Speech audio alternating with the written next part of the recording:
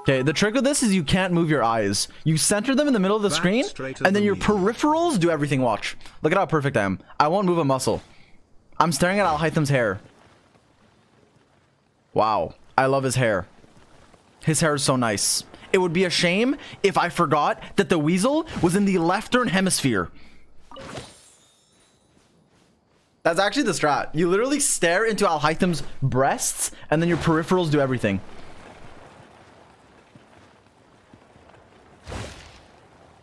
See, I told you. I fucking told you. You stare into your character, and then you you can you can weasel.